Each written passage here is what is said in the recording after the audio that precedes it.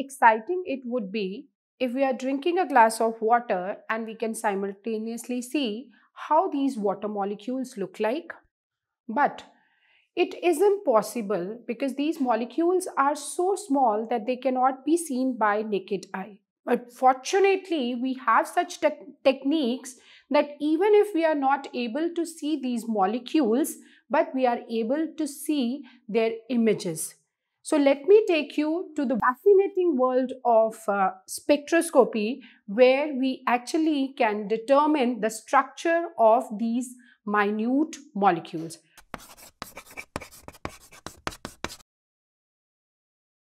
Myself, Dr. Mamta Sethi, welcome to S Chand Academy. To learn more about the details of these topics, please refer to the book by S. Chand Publishing.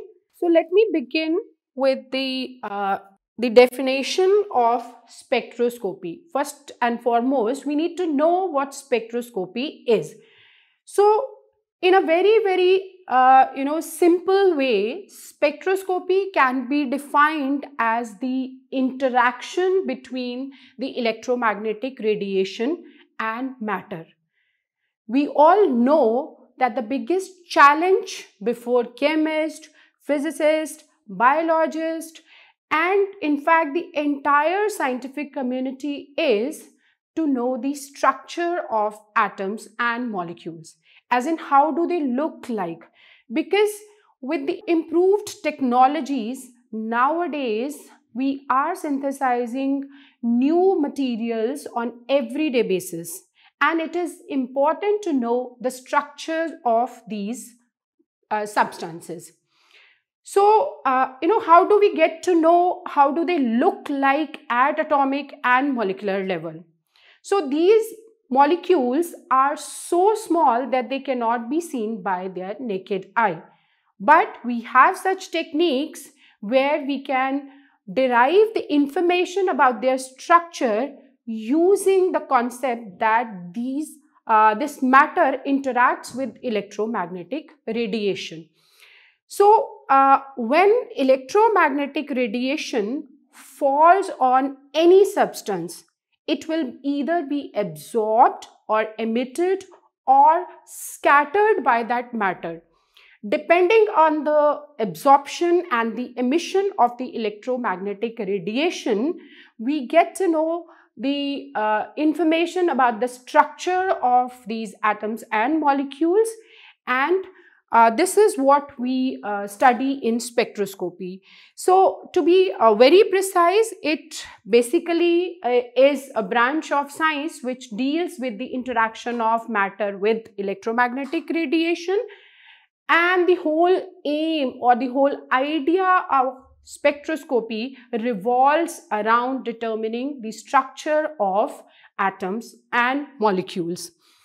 Though it primary, uh, the primary aim of spectroscopy with which it started, uh, you know, is the structural elucidation of atoms and molecules, but it has now extended its application in almost every field of the science.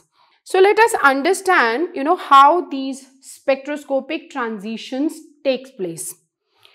So how do matter interacts with electromagnetic radiation? So I'll come to the uh, details of electromagnetic radiation uh, maybe a couple of slides later. But let us discuss that, you know, in uh, molecules and in atoms, these energy levels are very well defined as we can see here. So uh, in terms of uh, quantum mechanics, we can say that these are quantized energy levels. They are not continuous, uh, you know, energy levels, but they are quantized. They, they have a definite gap in between these levels. So now, when this matter absorbs electromagnetic radiation, then what happens? That most of the molecules which are otherwise present in the ground state at room temperature will absorb energy from the electromagnetic radiation and will jump to higher energy levels. right? So this ground state is generally represented by E naught and all other states other than ground state, all other states are called as excited states. So when a molecule absorbs energy, it goes to the excited state and this is precisely we call as absorption. Now this absorption is not random. It will not happen under any condition. So the foremost condition when absorption can take place is only when the energy gap, see this gap, this is called as delta E, energy gap between two energy levels, when this exactly matches with the frequency of the electromagnetic radiation we can call it when delta E is exactly equal to h nu, the absorption will take place. So that means in the electromagnetic spectrum, we have energies, frequencies coming from every region. But when this gap will be exactly equal to the frequency of the electromagnetic radiation, absorption will take place and this absorption will be detected as a signal by the spectrophotometer that is a device instrument which we use to record the spectra of any molecule uh, it is recorded as an absorptional signal and this is what we call as absorption spectra. Now we all know that other than ground state all other excited states are relatively unstable. Only the ground state is the most stable state for any molecule. The other higher states are unstable and therefore even if molecule is present in the excited state for some time, it is definitely going to come back to the ground state emitting its energy in terms of photons. So this phenomena we call as emission. So this emission will take place when the molecule in the excited state relax back to the ground state. This is called relaxation or maybe we can call it emission and this particular phenomena is again detected as a signal by the spectrophotometer and this we call as emission spectra. So absorption and emission. Any molecule which goes to the excited state, it is recorded as an absorption, but definitely it is going to come back to the ground state in order to acquire the most stable state. So this will be, uh, we will call as emission spectra. So we have understood uh, that what spectroscopy is and how an absorption and emission spectra uh, is obtained. But uh, it becomes mandatory here to understand what electromagnetic radiation is. So though we all have, uh, you know, learned this uh, uh, thing in school days also that what electromagnetic radiation is.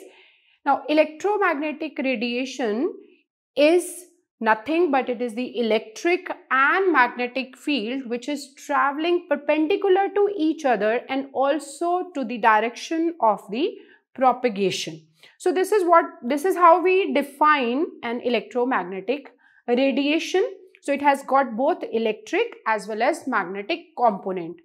And this electromagnetic radiation plays uh, an important role in spectroscopy and therefore it becomes necessary for us to understand uh, a little more about electromagnetic radiation and its properties which are useful in spectroscopy.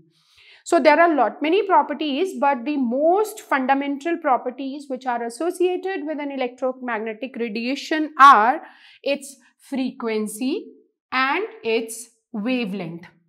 So and which are related via this relation which is uh, c is equals to nu lambda where c is your speed of light, nu we call as frequency of light and lambda is the wavelength.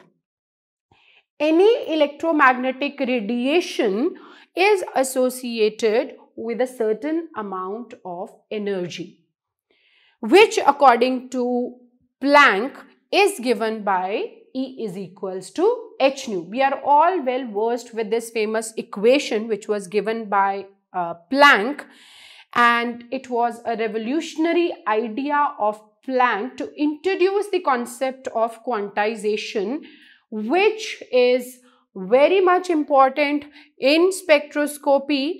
Otherwise i'll come to that part later. Otherwise we would have not been able to get a well resolved spectra so let's see that how frequency is related to the energy frequency is directly related to energy with a constant that we call as Planck's constant and its value is 6.626 into 10 raised to the power minus 34 joules second. So we can see that frequency is directly proportional to energy whereas frequency and wavelength of any radiation they are related to speed of light via this relation and therefore we can further write this expression of energy as E is equals to hc by lambda. So there are two important things which we need to keep in mind for further discussion uh, of the spectroscopy that uh, frequency and wavelength they are inversely proportional to each other. So as frequency increases, the wavelength which is associated with that electromagnetic radiation decreases. Now this plays a vital role in spectroscopy because each electromagnetic radiation will be associated with some energy.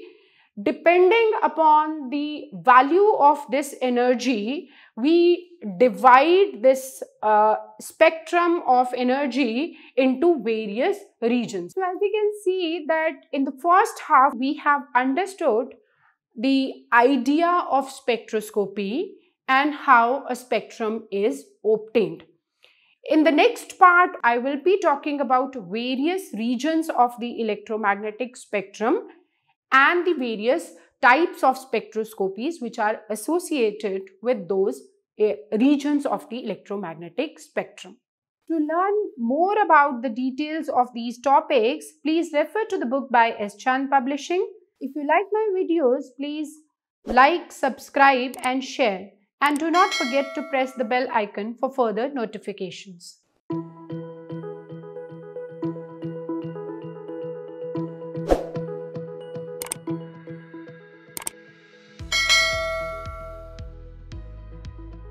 All rights reserved. This video has been prepared for educational purposes only. No part of it may be reproduced or copied without the permission of the copyright holder.